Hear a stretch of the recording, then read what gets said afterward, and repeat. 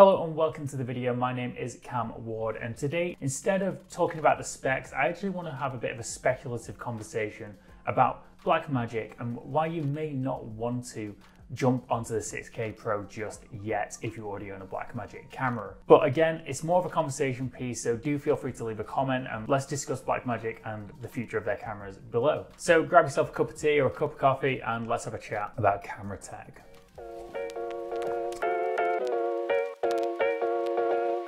Now, if you're watching this video, you probably already know the ins and outs of the specs for the 6K Pro, but the key takeaways for me were the flip out screen, internal NDs, and probably better battery life given the new batteries they're using. Not only that, but the price point of $2,500 is superb. Again, these cameras are exceptional for the price points. And simply put, this is a far better value product, in my opinion, than the Pocket 6K.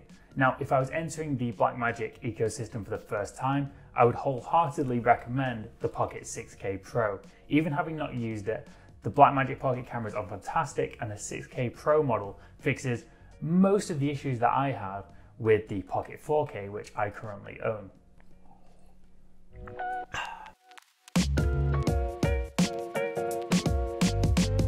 So this is where I'm going to get a little bit speculative and I'm just going to do some long-term thinking here perhaps. But I actually think that this 6K model will become the new baseline for Blackmagic. I could see them phasing out the Pocket 4K in a year or two and having just the 6K and the 6K Pro model and then having another camera, say an 8K camera between the 6K and the 12K. There's a lot of Ks being thrown around here. I think this mystery camera in the middle will be the camera that most people who currently own Blackmagic cameras are waiting for. And I think we need to remember that what we're looking at here is an update on the Pocket Cinema camera line. It's not a new camera. It's got the same sensor as the Pocket 6K. This is just an iteration. And for me, it kind of makes the 6K a little bit redundant at this point, just purely because given the price point of the 6K Pro, it kind of competes with your Canon C70s and Sony a7S Mark IIIs. If you're looking for just the best image quality, then this is probably the camera to go for over those other two.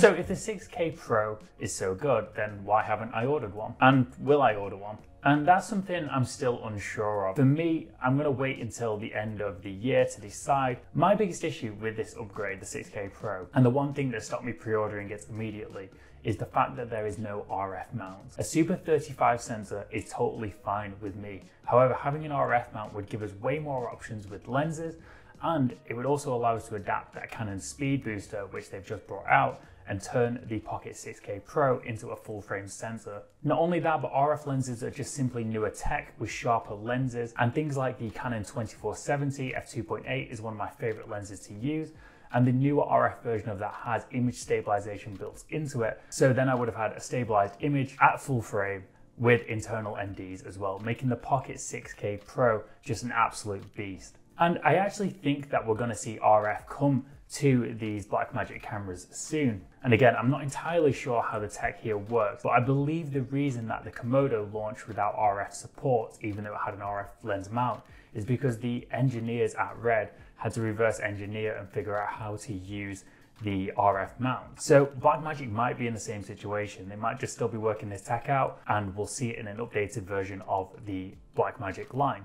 Now, if Blackmagic wants to compete with these other cameras, such as the Sony a7S Mark III and the Canon C70, they're missing a few key features in this new model. And some of those key features are, you know, autofocus, in-body image stabilization. For me, it just seems a little bit odd that these features were omitted, simply because given the flip out screen, it seems like they're targeting more run and gun videographers here with this 6K Pro model.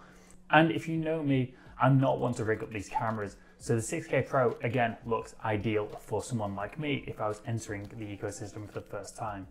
And given that is the same sensor as the Pocket 6K, it still just feels like an incremental update and you're not going to get that much better. well, the image quality should really be the same. So a lot of people feel let down about the form factor of the Pocket 6K Pro because we were all expecting or wanting a more boxier form factor in the shape of the Komodo. And I actually still think this camera could come. It could be an updated version of the Micro Cinema camera And I think we could see it maybe towards the end of this year or early next year. We all want that boxy little form factor where you can build it up, rig it up, rig it down. Just all the benefits of the Pocket 4K and the 6K combined into one. Make it a more accessible camera than the Komodo. Because for me, again, as good as the Komodo looks, the frame rate options be pretty limited and that massive cropping on the sensor are still big downsides for me and one of the reasons that I just didn't immediately buy that camera. I'm looking for a great all-round cinema camera that offers just the best image quality. Again, it's very subjective, but after using Blackmagic, I actually just love the colors out of Blackmagic and I love using these cameras. So that's why I've just not opted to go for a Canon C70 or a A7S Mark III or an FX6. For me, it's just, I just like to use certain cameras and Blackmagic is the one I'm liking at the moment.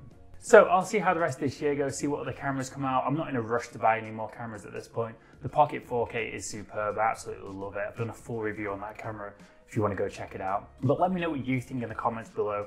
Let's discuss this and um, yeah, I'm, I'm, curious to hear everyone's thoughts on what they want to see out of the next Blackmagic camera. If you do want to see more of my work, you can check me out on Instagram at Cam Ward Film. And yeah, I will catch you in the next one. Thank you very much for watching. This video is sponsored by Skillshare. Skillshare is an online learning community with thousands of inspiring classes for creative and curious people. You can learn new skills, deepen existing skills, or just get lost in creativity. Some of the classes I would recommend at the moment is the Advanced Video Editing with Premiere Pro 2020 by Jordy Vandeput. It's a great way to just learn some new tricks within Premiere Pro, but if you're ready to take it to the next level, you can learn Adobe After Effects CC for beginners with Jordy Vandeput as well. Learning After Effects is a great tool to have because it just allows you to do so much more with video editing and visual effects work. Skillshare is curated specifically for learning, that means there aren't no ads, and they're always launching new premium classes. And it's less than $10 a month with an annual subscription. And the first 1,000 of my subscribers to click the link in the description will get a free trial of premium membership so you can explore your creativity. Thank you Skillshare for sponsoring this video.